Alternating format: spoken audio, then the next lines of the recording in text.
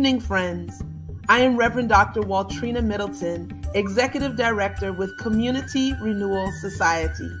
We are so happy to welcome you here for this important community conversation as we head into the final leg of a Chicago mayoral race runoff.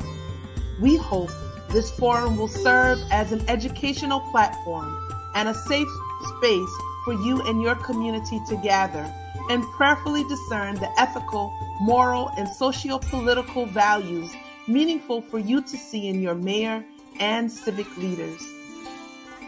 This is not a platform of endorsement for either of the two candidates. We do wish to acknowledge both campaigns, Mr. Brandon Johnson and Mr. Paul Vallas, for considering our invitation to join CRS Community Conversation. Invitations were sent to both campaigns, and we have been flexible to adjust to the changing tides and fast pace of the campaign trail. That includes adjusting our schedule so that our conversation would not conflict with a live debate that was confirmed only after CRS Forum was planned. We recognize both candidates are doing all they can to share their platforms with the residents of Chicago. We are grateful to follow the live debate with this opportunity to interact with each of you and all who believe in love, justice, and freedom across our beloved city. We offer to accommodate the candidates by pre recording their interviews with our esteemed moderator, author, editor, and publisher, Katara Washington Patton. Some of the questions you submitted in advance were asked of the candidates, and we will share your responses. We are so grateful for Katara Washington Patton serving as our moderator this evening. She serves as senior editor with Our Daily Bread Publishing and has worked in the editorial and acquisition departments at the Chicago Defender, Christian Century, Tyndale House Publishers, Urban Ministries, McGraw Hill, and Jet Magazine. Our award winning moderator's most recent book, Navigating the Blues Where to Turn When Worry and Anxiety Steals Your Hope, debuted on Amazon's bestsellers list for new releases. Her accomplishments of publication is extensive, as well as her achievements as a scholar and humanitarian committed to faith, culture, mental health, well- wellness, and social justice. You can find her full bio on CRS website, communityrenewalsociety.org, and also our social media platforms as we live stream. Please connect with our moderator on Instagram, Katara WP, or on Facebook, Katara Patton. Joining our moderator is a diverse panel of thinkers, leaders, servants, and instrumental voices vested in this election from their locations as educators, policymakers, clergy, and citizens of Chicago. They will be formally introduced and will help us delve deeply into this conversation alongside your questions. For those joining us live on social media platforms, we want to make sure this is a safe forum for all. Violence in all in any form will not be tolerated, and we will actively remove anyone who violates our policies for safe, respectful, and inclusive discourse. Today's community conversation will be archived on our platforms for future viewing. On behalf of our congregational sponsors, Urban Village Church and Trinity United Church of Christ, CRS Board of Directors, and our entire dedicated CRS staff, we hope to leave our time together more informed and more inspired to vote and to be active participants in our democracy by voting and holding our officials accountable. There is so much at stake, and with a mission to eradicate racism and poverty, Community Renewal Society remains fervently committed to being a resource of education, activism, and transformation for love and justice. Welcome.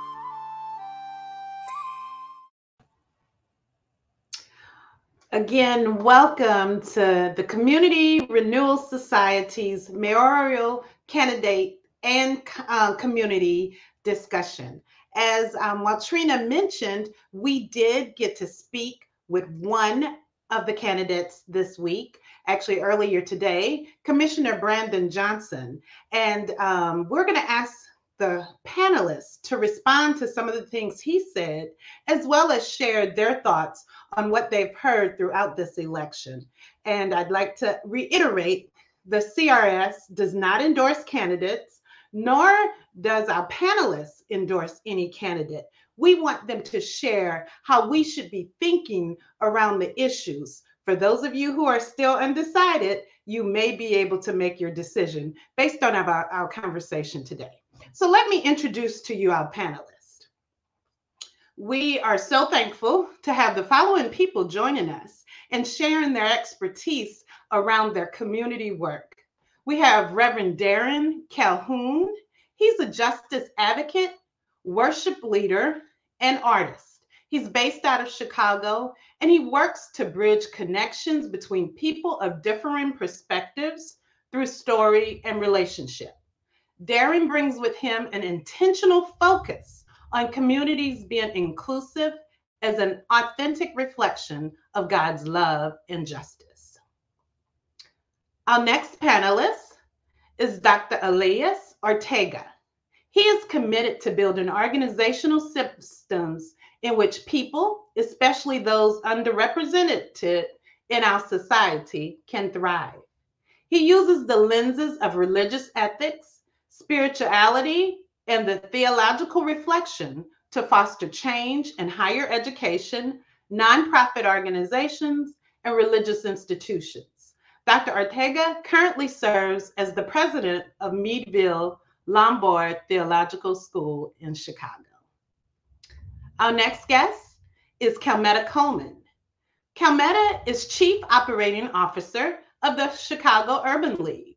She is responsible for ensuring efficient operations across the organization, overseeing programs, providing strategic leadership for external affairs, and helping to execute the vision of the president and CEO.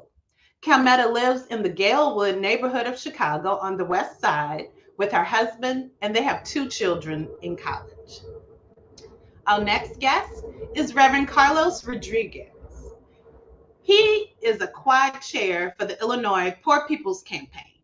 He currently works for a not for profit called WestCare Illinois as a program director, where he oversees drug, alcohol, and violence prevention work in nine alternative high schools in Chicago's West and South Sides. Carlos and his mother founded the Albuquerque Border Cities Project, ABC, in 1986 and it's dedicated to monitoring the abuses of the Immigration and Naturalization Service in Albuquerque, New Mexico. Our next panelist is Alderwoman Rossana Rodriguez. She is a mother and resident of the Albany Park neighborhood. Prior to taking office, Alderwoman Rodriguez worked as a youth educator and was involved in community groups and an activist and organizer. You may find more information about our esteemed group of panelists on our website at communityrenewalsociety.org. As I mentioned earlier, we got we had the privilege of speaking with Commissioner Johnson earlier today. So what we're going to do tonight is play clips from different um, pieces that he spoke to. We asked about different things around different subjects that we felt were important to our voters. We're going to play those videos each separately, and we'll have the community um, panelists then discuss some of these issues. So let's get started with our first issue. Of course, the hottest ticket, the hottest button here is crime and public safety. So today we asked Commissioner Brandon Johnson to share with us what he would do in his first few days on the job if he's elected as mayor. Let's talk about crime. I read on your website that you said you are going to enact policy shifts day one of your administration. Tell us what that looks like. Yeah, thank you for that question. Obviously, public safety is something that everyone is deeply concerned about. Um, it's been problematic in the city for a long time. It's becoming increasingly problematic. um, over the course of the last four years, particularly within carjackings and robberies and thefts, and of course the murders. And we're not solving crime. And I live in one of those beautiful, dynamic communities on the west side of Chicago, Austin, and it is one of the more um, disinvested communities. And so, as a result of that, um, you know, crime unfortunately um, is um, quite pervasive. And so, what I've proposed is one day one train and promote 200 more detectives. Um, we can do that um, in order to make sure that we are actually bringing closure um, to, to, violent crimes. We have to do that. Second of all, day one, we we can enforce the red flag laws that are not being enforced. These are laws in which people have access to guns that shouldn't have them and so we actually get to invest and spend to make sure that we are um, uh, implementing and pushing the laws that are already in the books. Three, um, day one, we get to start spending towards the implementation of the consent decree. I'm happy to have the support of the top legal officer for the state of Illinois, the Attorney General, and there are dynamics within the consent decree that we can start to move day one. One, funding the institutions that have been charged to come up with the type of reform measures that can shift policy. Two, making sure that we have the funds to provide mental health support for law enforcement. The other big thing that we can do day one, and this will happen in the midst of our transition, is really about prevention. That's really what our goal is around public safety. And the data has proven over and over again there's a direct correlation between youth employment and violence reduction. That's why I'm committed to doubling the amount of young people that we hire, not just for summer jobs, but year round jobs. And then finally, mental health services. We can pass treatment, not trauma. Um, that's going to provide mental health responders, EMTs, to show up to the 911 calls that are almost 40% of them um, are mental health crises. By doing this, this frees up law enforcement to be more strategic and smart of how we deploy them. So these are just some of the four or five things that we can do day one, the moment that I'm sworn in on May 15th to you've heard what Commissioner Johnson just said, and we must add that we did invite uh, Mr. Paul Vallas to speak with us. Also, his schedule would not allow, but we've heard his his platform as well. We've been through this for many weeks. So um, I want to ask the panelists to begin. Each of you, I want you to share what are some of the things we should be thinking about around um, public safety and crime as it relates to what we've heard the candidates say they want to do? What can we use to inform our votes? We can begin with you, Reverend Darren Calhoun. Hi there. So good to to be with everyone uh, today. I really, my ears really perk up anytime we talk about public safety because as a black man as uh, a queer man who lives in chicago there is such an important need for me to navigate these waters where um, in two different ways uh, my kind of threatened by many of the powers that be. And so I'm not keen on us uh, having conversations of increasing Chicago's police force with it already being 40% of the city's budget. I don't have faith that that will be the answer or that that will uh, resolve anything for us. But I do um, like the idea of putting a lot more work into addressing mental health crises, um, addressing ways that that people can be cared for rather than policed and punished. Um, so yeah, we've got a, we've got a lot to see. We've got a lot of accountability to hold. Um, in our last or in our previous election, we had people kind of hoping, oh, because this person is a black person, um, that we're going to have an automatic in. But I really think we'll have to see who's ready to be accountable and who's ready to, to interface with our uh, with our community organizations to make sure that kind of accountability happens. Wonderful. Thank you, Reverend Calhoun. We'll go to Dr. Elias Ortega next. Thank you for the opportunity to, to participate in, in this dialogue. I think I would like to start uh, by, by mentioning uh, something that is, is, from my own experience. Um, anytime in during my life, whether as a, as a young Latino growing up um, or now as a young adult, any time I hear words like uh, safety, right, making our spaces uh, safer for the people, I, I wonder two things. Uh, one, who are the people for whom we are making our communities safer?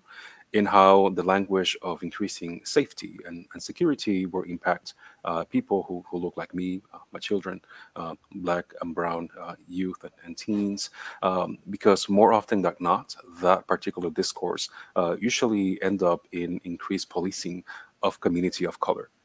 And that, that increased policing is oftentimes used as, as a way to not only control right our communities, um, but is also a way of controlling um, economic and political power as well. I think we, we all know of, of the impact of, of mass incarceration in how practices of, of, policing black and brown communities extract wealth right from uh, communities of color and move them into uh, other pockets of, of the city uh, or the state. And that is a concern right that, that i have. Um, i'm also particularly concerned in the way in this in which in this major race right issues of security and policing really come to, to the fore um, as one of the primary issues in a way in which uh, can promote uh, not only fear but also can distract for some of the some of the causes right that that leads to or to kind of other kinds of economic activity uh, in order for the economics of a city to work. So I think by, by emphasizing economic development, right, by emphasizing um, education uh, are particular ways in which we can then uh, address issues of, of, of, crime without necessarily increasing policing. I think interventions of social services, uh, mental health, and working closely with faith communities uh, can actually help reduce, uh, right, recidivism can reduce particular particular crime rates without necessarily involving um, policing. I'm also uh, concerned, right, in in the ways in which the the conversation of increased security is not necessarily accompanied, right, by particular training, right, and development uh, in terms of cultural competence, uh, competency, in terms of the escalation, right, that may be necessary and actually required, um, right, for for the police force to be effective, right, in this city.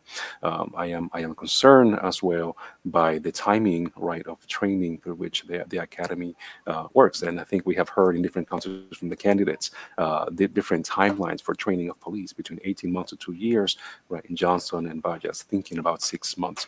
And, and I think given given the power right of, of the police and the possibility right of uh, many of our members of color right and, and disability um, impacted folks and uh, trans youth of color and queer youth right? We need to be very attentive right of what is the discourse right of increased policing uh, that needs to be accompanied right by, training but emphasizing right all the ways of, of managing right community relationships. And i think finally and i know this is centered in the city but uh, a concern that, that i bring uh, clearly is when we talk about guns right and restricting guns access in the city and we do not have conversation with with the suburbs right and even across state lines that we know are the places in which uh, illegal guns, right, are moving into the city. I think it requires a, a statewide conversation that is not only uh, Chicago centric.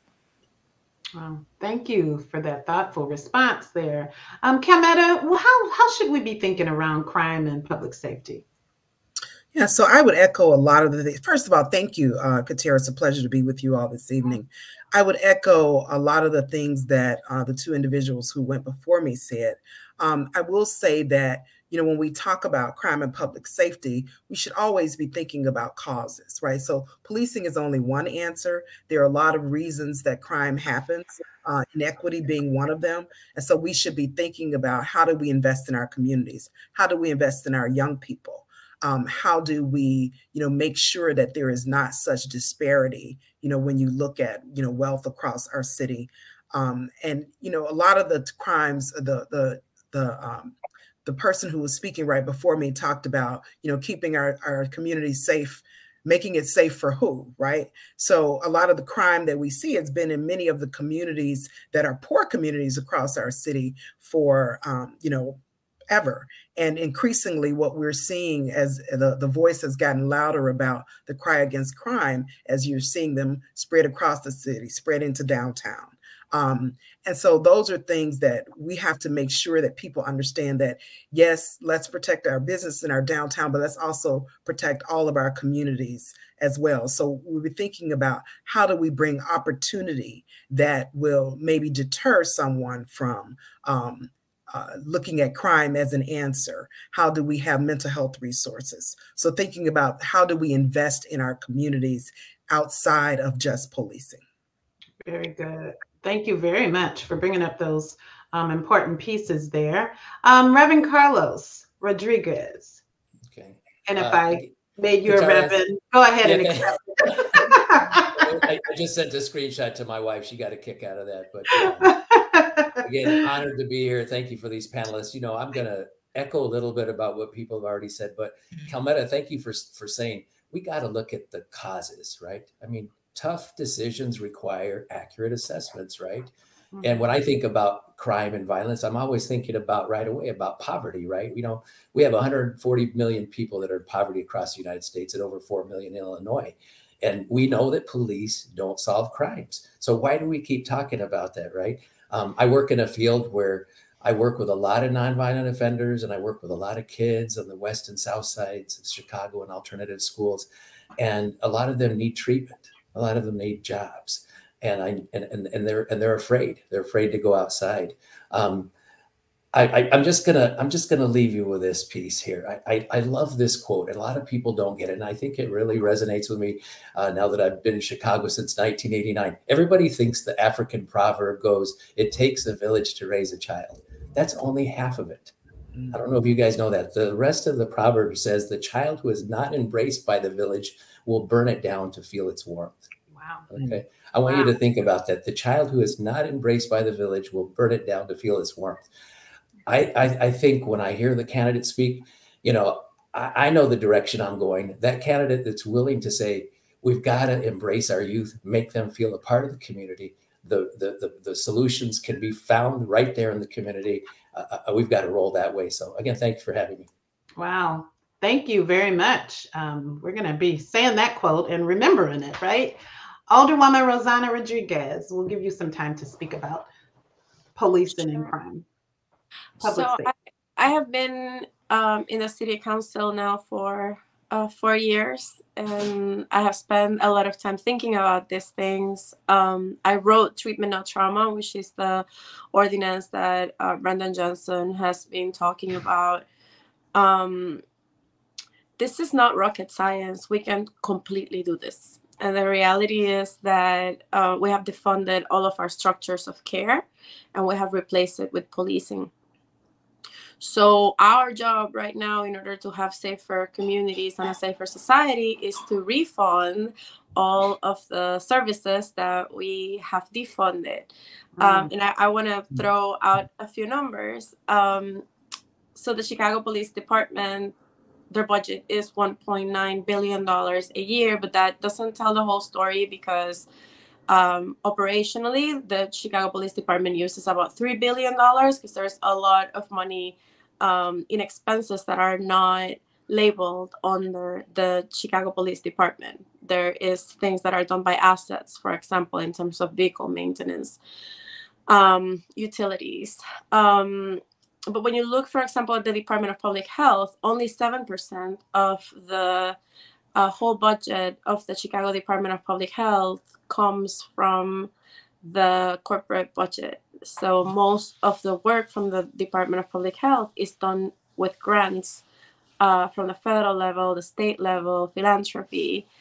Um, and if at any point we lose that funding for whatever reason, we are not able to operate and we're not able to take care of people. So we have been prioritizing the criminalization of trauma, the criminalization of um, all of the things that that are related to social services, to lack of supports, right?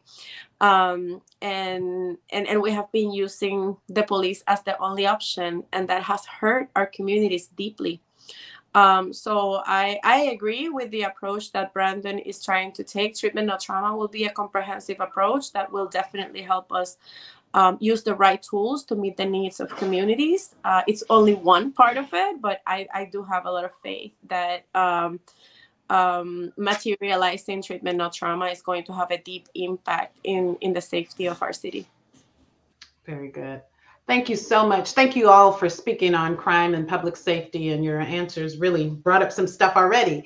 Um, we're going to move to education. We heard the, the profound quote about a child who is not embraced in the village will burn it down to feel its warmth.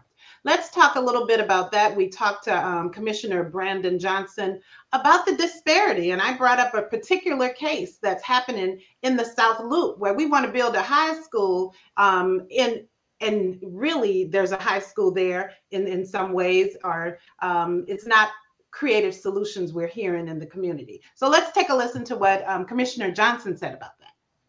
And the next we'll... item, the big item here that you have a lot of experience in is education. And we talk a lot about the tale of two cities. For one, um, let's take, for instance, the South Loop High School that's been a big issue in the news some people want to build a high school. Other people say put money in the Wendell Phillips. What do you, what do you think about that, and how does that relate to your education? Your thoughts? Yes, look. So yes, public education. That is that the business of Chicago is the education of Chicago, and this is why i have been pushing for the Chicago Public Schools to actually embrace the new funding formula that I was a part of the organizing to actually change that. And so the new funding formula has made it very clear we need to base our funding on need, not per pupil. And because we're not basing it on need, Chicago Public Schools is leaving $1 billion on the table. So, one, we're going to make sure that, that we embrace the funding formula that I helped organize and change. Two, I believe in sustainable community schools. That's going to be important. We're talking about a community school model that allows for real investment to take, that, to take place and make sure that we're providing funding that supports the unique challenges that exist in the variety of communities there's got to be a baseline for every single school, and that's what I've been fighting for as a teacher, and as an organizer, and a Cook County commissioner. As far as this specific dynamic around the South Loop um, High School, look, I'm I'm about collaborating and putting together a process where the community gets to participate. Nothing should be done without the support and the guidance of the people who will be impacted. And that's been my approach as a teacher, as an organizer. It's been my approach as a Cook County commissioner, as we have managed multi-billion dollars of taxpayer dollars. And so I'm certainly confident that we can build a type of coalition that puts the interest and the needs of parents and students and those who do the work at front and center before we make any decision. Okay. Um, we apologize for the technical difficulty. Just to let you know, all of these videos, as well as this forum, will be able to be viewed on our website the um, Chicago Renewal Society.org. So if you want to go back and hear the bits there that you missed, you, you please do. But um, let's talk to our panelists about education. What should the community be thinking about as it relates to who we vote for and, and their stance on education? A couple of issues I want to just raise and you can touch upon them if you feel inclined. We know Johnson is backed by the Chicago Teachers Union. Could that be a pro or a con that you have a great relationship with the Teachers Union? Um, and we also know Vallas whatever we may interpret of his record, he was the CEO of Chicago Public School Systems here as well as in Philadelphia. He was superintendent of schools in Bridgeport, Connecticut, and New Orleans, Louisiana. Um, how do we interpret his record, and, and what does that say about what he might do as mayor, particularly around the um, area of education? I want to start with Alderwoman because she says that she is an advocate for public education. So I'd love to hear from her. We'll get to the rest of you too. Um, so one thing that was really impressive to me um, about the Chicago Teachers Union and as, uh, uh, about Brandon as uh, as a leader um, is that they actually made popular the idea that you could bargain for the common good, and um, I think that we need to make sure that we understand the the moment that we are in um, there are a lot of big economic interests uh, that are vying for public services to make them profitable for specific people, companies, um, and and the difference, I believe, between Paul Vallas, who has already demonstrated that he is in favor of school privatization, of charter schools, of vouchers, of choice, um, and then in, on the other hand, you have a teacher that has been bargaining for the common good, that has been trying to invest in our public infrastructure. Um, I think I think those are two opposite ends of the spectrum and something that we need to absolutely take into account because I think at this point we need to be building public structures. We need to make sure that we're funding public structures and that we make those public structures sustainable. Um, and the privatization of our public services, including education, is the opposite of that. Mm-hmm. Um, so I, I, I think that that it's the main difference between them. And in their history, Paul Vallas has a legacy of trying to privatize schools. Uh, Brandon Johnson has been fighting for public schools and public infrastructure. Okay. Thank you for that. Calmetta, we'll go to you. You are familiar with the Chicago public school systems. You had two kids come through there. Can you share with us what we should be thinking around um, education? Uh, yes, absolutely. So, um, as you mentioned, I have a son and a daughter, both who graduated from Chicago Public Schools. And I will say that Chicago Public Schools, uh, the system works for some people right?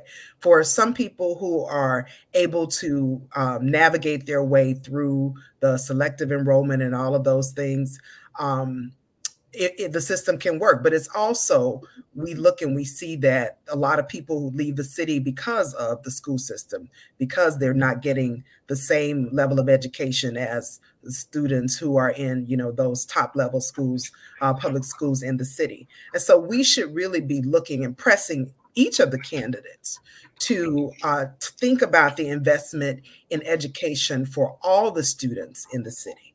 So that you know the the kids on the south and west sides of chicago and poor communities also have that same access to education. And so you know you you started out raising the question about the school in the south loop you know, I, I, can't ever argue against investing in public schools. I think that that is great, but we want to see that same kind of investment in the schools in our communities, and that you know that children should be able to go to schools in their community and get a good, high quality education.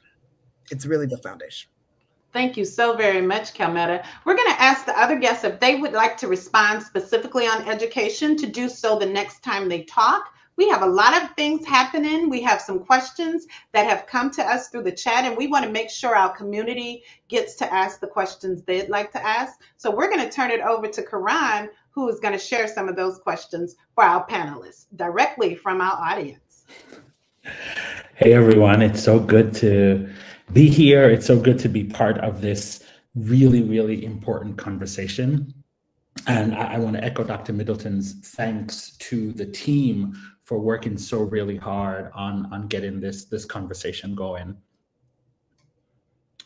Uh, one of the questions I, uh, that came up in the the comments, and it is from I think Dr. Lightsey, and and it's a, a comment and a question, and I want to throw it to the the panel to both reflect and perhaps incorporate this in, in their later responses. But it says, candidate Vallas has campaigned with a slogan, take the handcuffs off the police.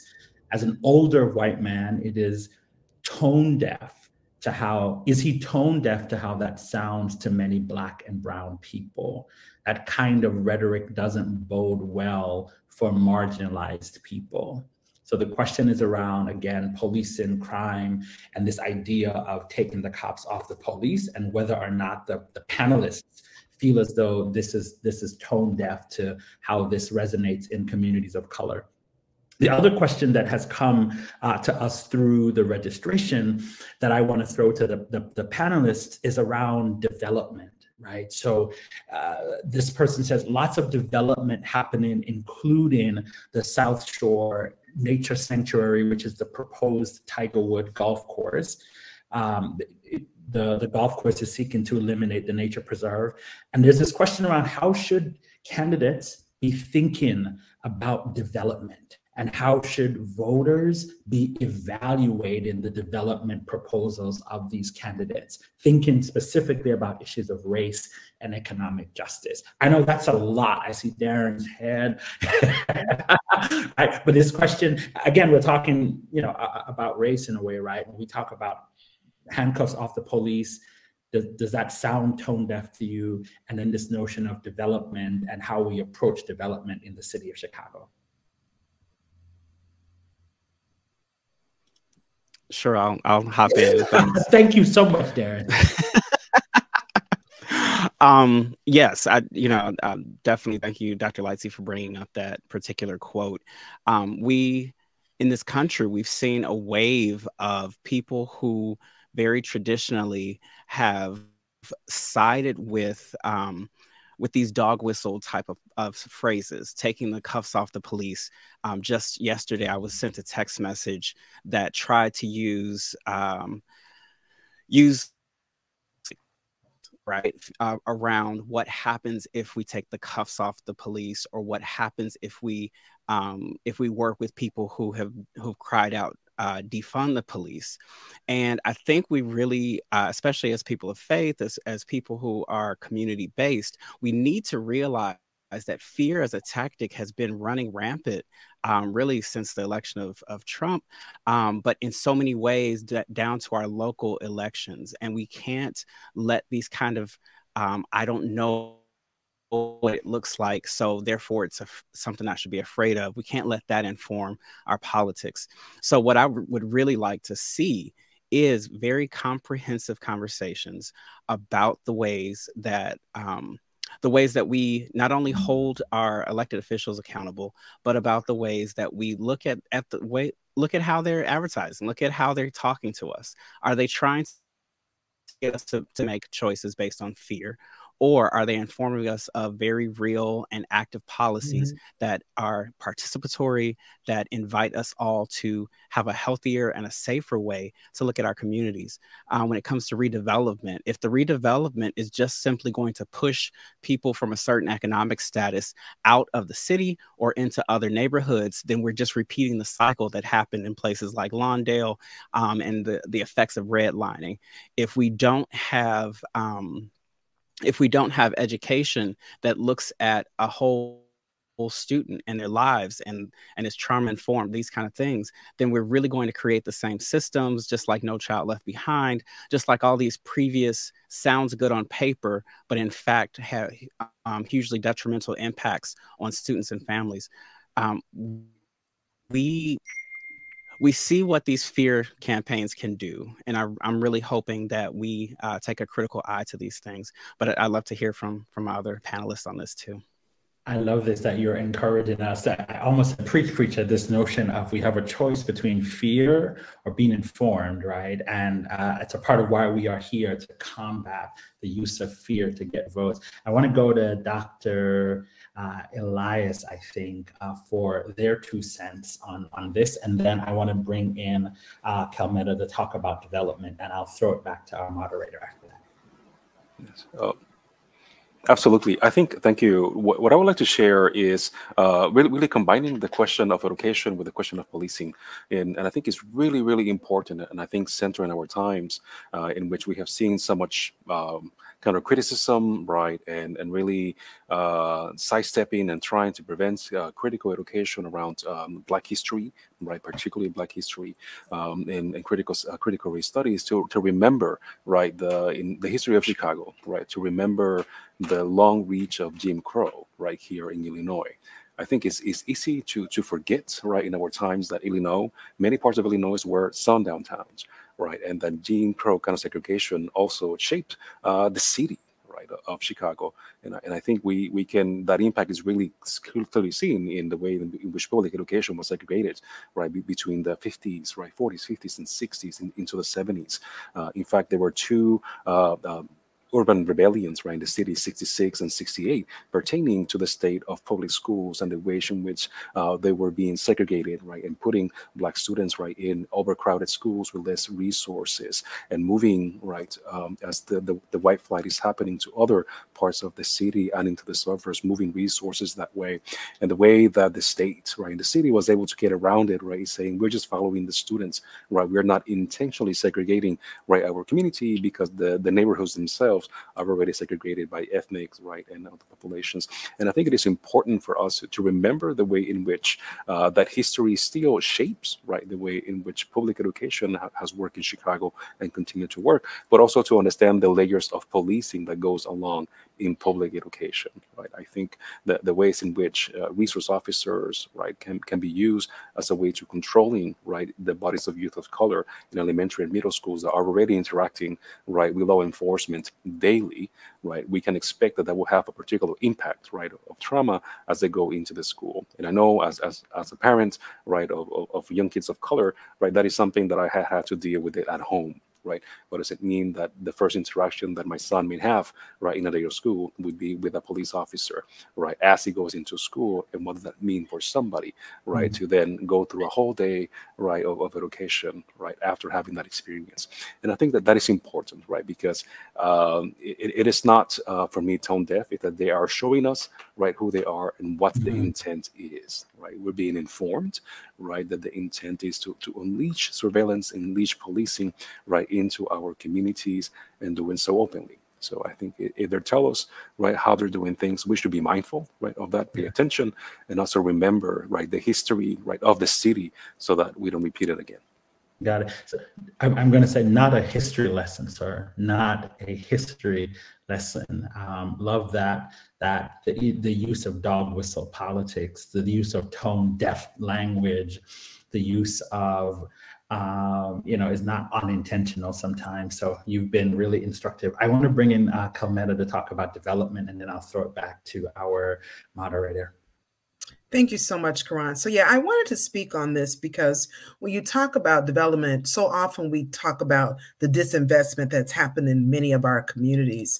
Um, and you see, you know, vast areas of, of land that are vacant. And so, as development starts to happen, we really should be pushing both candidates and never mind the candidates, but whoever is elected, because it will be one of them, to make sure that our approaches to development are equitable that means that development isn't just happening around our communities. And when I say our, I mean Black and Brown communities, the poor communities, um, but that we can be active participants in that development. And so that instead of having, you know, the minimum participation of minority uh, contractors, that we are actually removing barriers that limit their participation in those development projects, that we are really being thoughtful about how we allow different um, people who ordinarily are really underrepresented in the development process, whether that is as subcontractors, certainly as you rarely see um, Black people as, uh, or Black companies as uh, the main general contractors, but how can we really take approaches that keep wealth in the communities, bring wealth into the communities, and actually have the residents of the communities that where development is happening to benefit from that.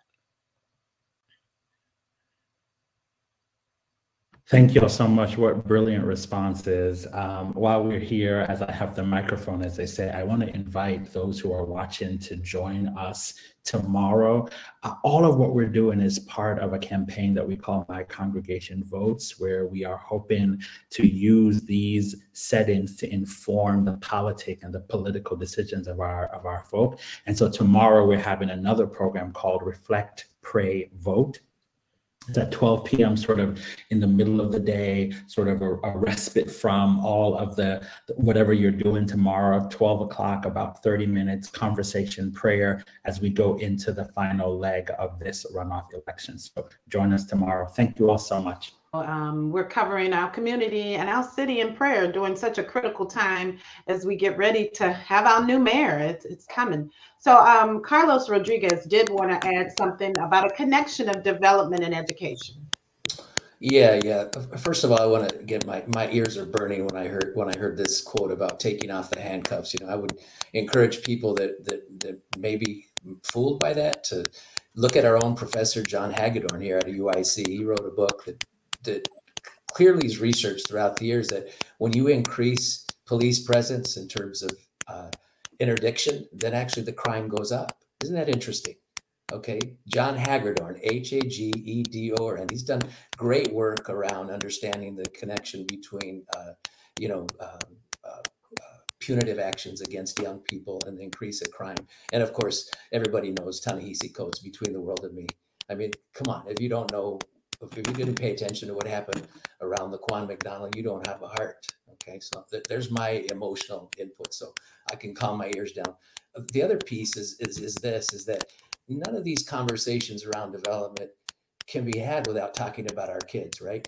At any time, almost one in five children in Chicago are homeless. Okay, how can you how can you say that that's that, that we should pay attention to development if you're not developing you know solid quality educations for our kids, right? Uh, across the nation, of course, the, the, the figures from Harvard are 52.1% of kids under 18 live in poverty, right? So, so for me, I keep thinking that I love that my alternative school families and my teachers and the communities that, that, that I, that I serve and, and people are just trying to survive right now. And, and so we've got to look at that and figure out ways to, to establish, you know, really solid foundations you know, for people to thrive, right? I think no question of development can be can be entertained, you know, without thinking about that. I'm going to add one more thing to it because I, I love these figures. For every one dollar invested in early childhood education, again, this is this is from Harvard. Society would gain seven dollars and thirty cents due to reduced poverty, lower incarceration rates, and better health outcomes. Okay, um, and th- these are just just simple things that you can Google but but it's it's more like how do we, we we've got to organize to to make that happen right? I think the the, the people know this stuff instinctively uh, but but but we have to encourage them to get out there organize mobilize and vote Thank you so much. And we want to apologize for again for technical difficulties. We recognize the the beauty of technology as well as sometimes the issues that we might have with that. We think there was a little tap in noise going on with uh, Mr. Rodriguez. Rodriguez's microphone. So we'll make sure we fix that so we can hear his great points clearly here. Um, let's move on to a, another subject that everyone's talking about. And it has to do with how we're going to pay for the programs that we're talking about to help in these areas. It boils down to taxes and the budget. I got to ask Commissioner Johnson to share a little bit more specifically about his plans around this.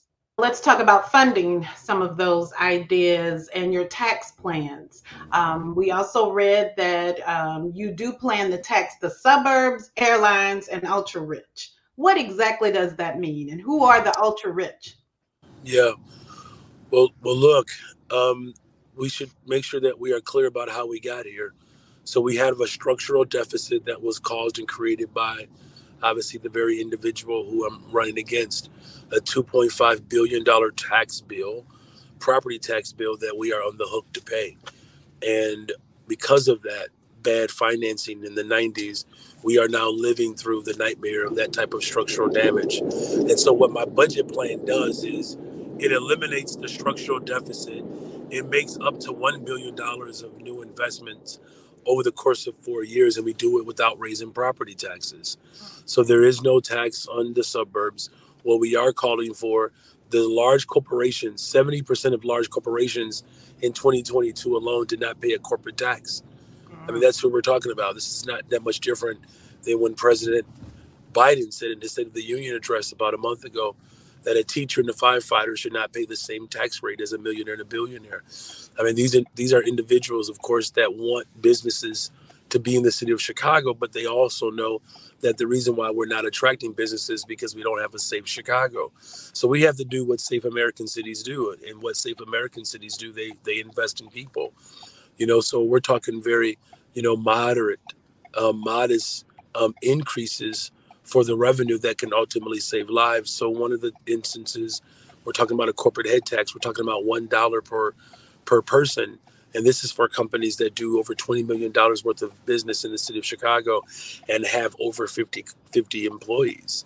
Right. We're also talking about a hotel tax. That's one dollar per room. That's what we're proposing.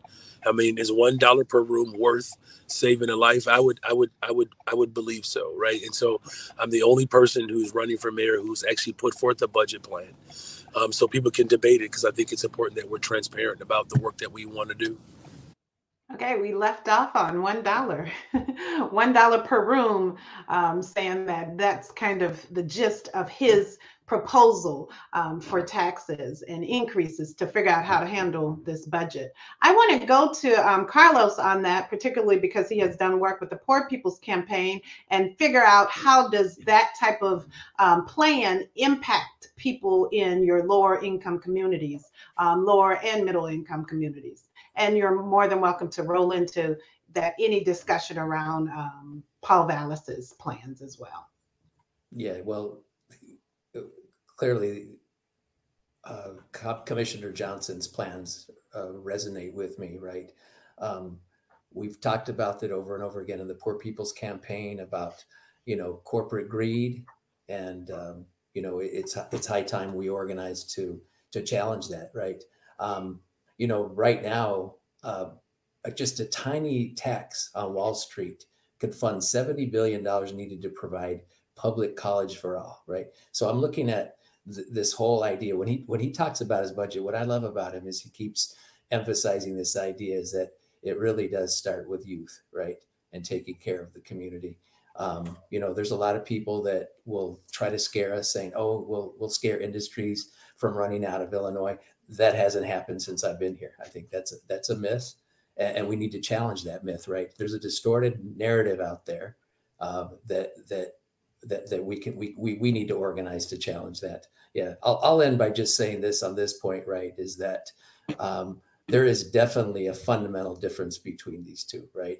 Uh, uh, alderperson or uh, rodriguez said it best vallas has a proven record of gutting the system here and the the other we know the other candidate is saying let's make these tough decisions right and and thoughtful and make conscientious assessments collectively with, with all of the city of chicago. There's not certain sections that are more important than the others. What plans do you have around addressing the needs of the homeless community in chicago as well as affordable housing in the yeah. city? Yeah thank you for that. As a public school teacher i can tell you i've looked into the eyes of young children um, who show up to school every single day, either hungry or tired. And that has a lot to do with the fact that we have 65,000 plus families that are unhoused, of which almost 20,000 of them are, are students. And that's why I'm a big pro- proponent and a supporter of the Bring Chicago Home Ordinance. I mean, we're talking about raising millions of dollars annually to one, you know, create and build more affordable housing, two, making sure that we are building public housing, and three, creating the pathway to home ownership. I mean, all three of these dynamics play a part in the safety and security of our communities. Um, as Cook County Commissioner, I fought my first major piece of legislation. I fought to end discrimination against those who were formerly incarcerated, um, who were trying to access housing. It is now against the law um, to, to, to, to discriminate against families or individuals that are seeking housing and have an arrest record or or a background. And so this is something that is dear to me, something that is personal because I had a brother who had an addiction, who, who had untreated trauma and died addicted and unhoused. And so this becomes top of mind for me as I move forward, um, building a type of coalition and apparatus that addresses this this immediate crisis. Okay. Um, I want to ask a provocative question, at least what I think is a provocative question, especially based on kind of the tenor of our discussion today a poll came out just today saying that we're at a dead heat. We have 46% predicting to go with Vallas and 46% predicting to go with um, Commissioner Johnson. Why is this race so close? What are your thoughts on that? I'll let everyone respond. You may go first, Reverend Darren Calhoun. Oh, no, Alderwoman Rossana, I'm sorry, I didn't see you. I think that we are at a moment of extreme polarization, not only in Chicago, but you know, in across the nation. I think um, this is also class war. I think that we are seeing the rich. I think that we are seeing big economic interest come into the fold and spend so many resources on making sure that their framework is the one that will prevail. So you are also seeing two different models of campaigning. You are seeing one campaign that is funded by workers, uh, by progressive unions that are Black led uh, that are that is powered by communities that have people going door to door every day people phone banking people texting uh, people using their own time and energy and labor in order to get this message out. And you have a campaign that is financed mostly by billionaires the same people that opposed um, the fair tax in Illinois and that uh, prevented it from passing so that we could actually have progressive um, progressive taxation in Illinois. So this polarization, we are seeing it everywhere, particularly since um, Trump won the election in 2016. Chicago is not an exception of it. So that is what we're witnessing right now. we're witnessing a lot of power. We're, we're witnessing a, a, um, a clash between the working class and and the ruling class. And, and I think that that is what's happening right now and is why this race is so tight because um, it, it's the two really big forces um, that are going against one another. Interesting, very interesting. Reverend Calhoun, why is this so tight? Yeah. I'm, I, I mean, I, I love what the, what the alderwoman shared a moment ago of this class war, and this this is the history of our country, right? Where we've been manipulated and led by uh, the wealthy ruling class to fight amongst each other, and miss the opportunity for us to unite our power, to unite our voices, to unite our communities, and to go with the candidates who actually show up for us, who have a good reputation on the streets. Um, you can buy your way to a good reputation in corporate America, but for for the vast majority of us, unless we become the next billionaires in the city or millionaires in the city, then we won't get that kind of response. And so, for me, I think this is an opportunity for us to one push past the apathy. You know, I mean, many people, especially young people. Um, who are turning out let's be clear, who are turning out to, to polls, but who don't feel like their vote matters, who don't feel like um, engaging this current political system is going to do anything. I think this is an opportunity for us to rally people around these ideas and get get folks working together on this. Very good. If I if I could say something real quick again about this, first of all, I, I love what was said already, and I, you know, I think the other piece though is and the alderwoman knows it because she goes door to door, is that we're getting into step right now, and they're getting afraid, right? Uh, I want to read a quote from from our our founder, the Reverend Martin Luther King Jr. for the Poor People's Campaign. Uh, he said this right before his death, as he was recognizing that this wasn't about a race issue. That in fact, if people could unite across color lines as a as a group of working people, right, poor folks, as he said, that we got it. So the quote goes like this You know, whenever Pharaoh wanted to prolong the period of slavery in Egypt, he had a favorite formula for doing it. What was that? He kept the slaves fighting amongst themselves. Mm-hmm. But whenever the slaves get together, something happens in Pharaoh's court, and he cannot hold the slaves in slavery. When the slaves get together, that's the beginning of getting out of slavery. And so wow. I think there, I think the powers that be are worried. Uh, yeah. We're organizing right now, and, uh, and and let's keep it going. Yes, very good. Wow, you've just given us so many literary um, insights in addition here. Um, okay, Calmetta, what do you think about why is this such a close race? You're muted. She has something good to say, I know. All right, sorry, I just realized. So I wanted to jump in on this because I, I, really liked what everyone else had to say, but I wanted to share something that happened earlier today. I was on another um, Zoom meeting with uh, some, with uh, a number a number of people who look like me, similarly situated, and there was clearly a I am I am there was clearly a Vallas camp and a Brandon Johnson camp and not much difference in these people. And so while I agree a lot with the idea about, you know, that there is there's clearly a class thing that's going on here, um, I also wonder if some of it is that, you know, there's a, a camp of people, um, you know, whatever the race, who feel like Vallas is a name they've known for a long time. Um, and, you know, they are maybe willing to uh, discount or or or um, make allowances for some of the things that they're hearing now because they feel like they've known him for a while. And then you have a lot of people who are also really wanting something new and really excited about what they're hearing um, uh, come from Brandon Johnson. And so, you know, I, I think that there is that class piece, but I think even beyond that, that there is something else that's going on here that uh, class doesn't necessarily all account for. Because some of the, you know, some of the folks who, you know, sitting looking just alike uh, economically, racially, otherwise, are saying different things. And that I do find that to be really interesting. That is very interesting. Thank you for bringing that up. All right, Dr. Ortega, we'll let you respond to that. And then we'll hear what Brandon Johnson had to say about that. Um, you know, I'm, I'm going to offer a little bit of a different angle. And one of the things that have caught my attention in this election, uh, and, and we haven't yet brought up, is the matter of how race may be impacting, right, the voter turnout and voter participation in connection to who is being supported.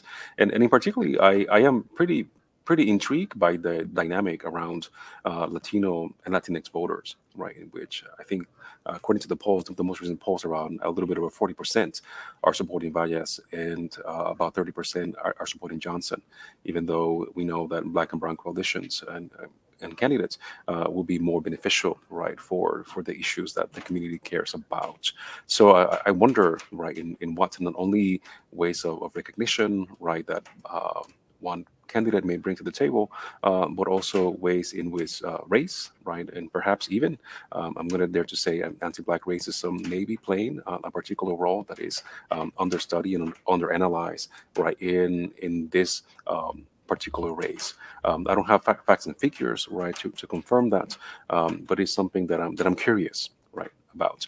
Um, I'm also uh, concerned that uh, at times uh, in among Latinx community, right, even though we know the impact, the discourse around uh, security and policing can can be effective, right, in, in mobilizing uh, not only in black black sorry brown communities, but also as segments, right, or, or the black community. And, and, and I think I, I, kind of urge us to to be mindful, right, and, and, attentive to to what exactly that that dimension, right, of, of race will play in this election. Very good. Thank you very much. I, I would like to uh, appreciate that conversation about the dynamics of, of the intraracial connection between uh, Black and Latinx vo- voters. Um, that is one of the things that we really have to have to do. We have to look at the ways that we've been impacted, and then consider how we how we might um, address the breaches you know address the the the tensions that exist and i don't see that necessarily being on everyone's agenda to do um, but again where where the people are united we can't be defeated i really think that uh, that this is an opportunity for us to to hold whoever's running whoever whoever we're considering and to talk to our families. Um, you know a lot of us got got tired when it came to um, to the the discourse over the last few years at the president level but we can't give up. We can't grow weary in our well doing we really do have to figure out new ways to not necessarily try to convince people but more so to let people be heard so that their fears can be addressed so that we can then get back to how do we make this better for everybody who's in our city like I said, we want to hear what Commissioner Johnson shared with us earlier today. And I want to reiterate that we were not able to speak with Paul Vallas um, this time around. His schedule would not allow. And then I'm going to let you leave us telling us something we haven't heard about Brandon Johnson. How might that influence us? What don't we know? What soundbite haven't we gotten through these last many weeks?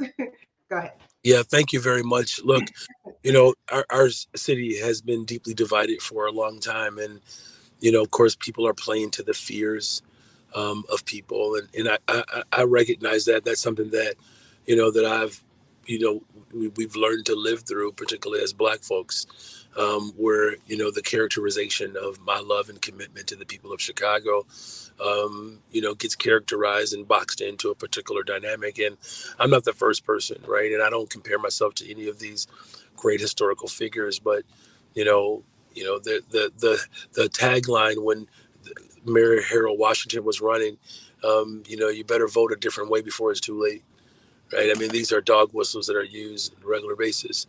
But you also have a lot of economic despair, and some of those fears, um, you know, are manifesting. But I also recognize the reason why it's so close because I'm speaking to the hopes of people, right? I was polling at 2.3 percent in October. Mm-hmm. But yet here I stand today. And so there were forces who did not expect me to be here. And now that I am, they're using everything in their power.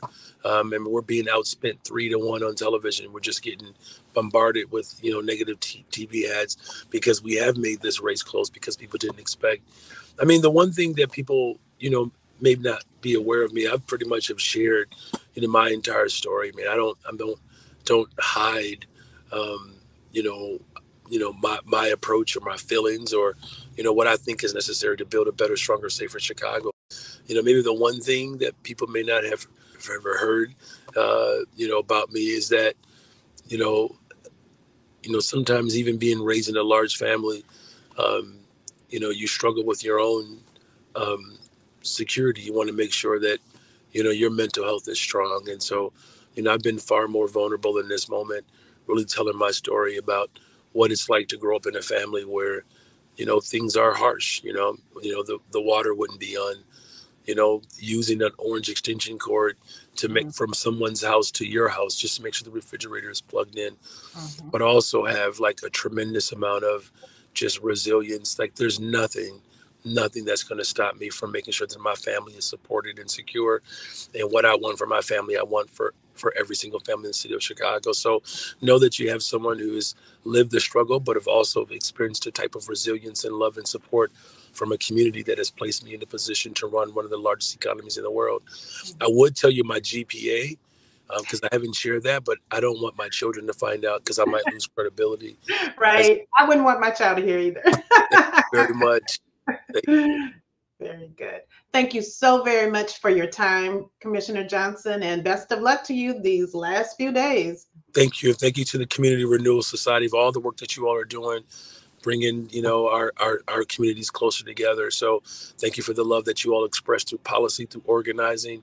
All of that work means a lot to the city of Chicago, really the state of Illinois. So see you all. Very good, very good. Um, I do want to remind everyone that the Community Renewal Society is having a special time of reflecting, praying, and voting tomorrow at noon. You can register. They're going to put up that clip here. It's a time to continue this discussion also. If you have questions or thoughts that you'd like to add, please sign on tomorrow at noon to have um, that conversation. We'd like to thank all of our panelists for their time as well as their thoughtful responses and engaging with the issues that impact our community. We do hope this can help those of you who are undecided to help you shift and move to a position that represents you well. We do say we cannot endorse um, any candidate, but we can endorse voting, and that's what we do. I'm going to hand this over to Reverend Waltrina Middleton, the Community Renewal Society Executive Director. Thank you for having us and thank you for joining us.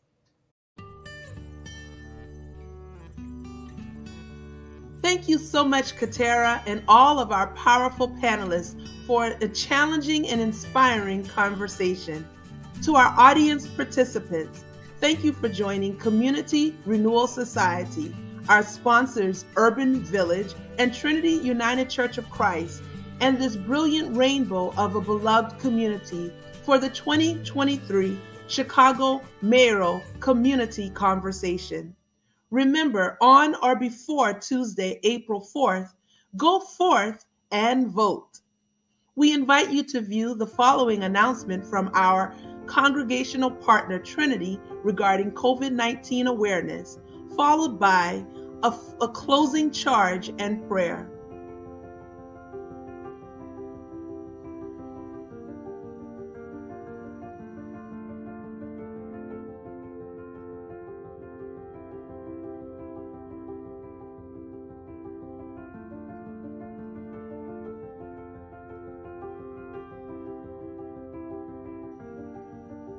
Shall we pray?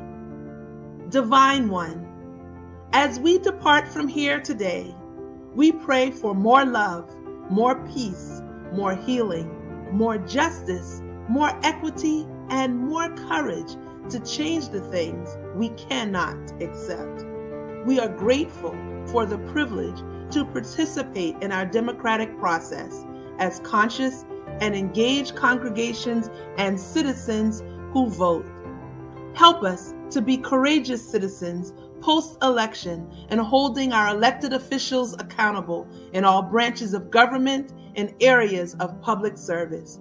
We pray for good health and welfare of our neighborhoods, our schools, workplaces, and beyond. We pray for knowledge, action, and change so that the future generations to come are welcomed with boundless opportunities, hope, and joy. We pray for both candidates, whether they win or lose, that they will use their platforms for greater good in Chicago and in the world. Go in peace, our friends, and let us be the change we seek and hold each other in love and in the light. Ashe. Amen.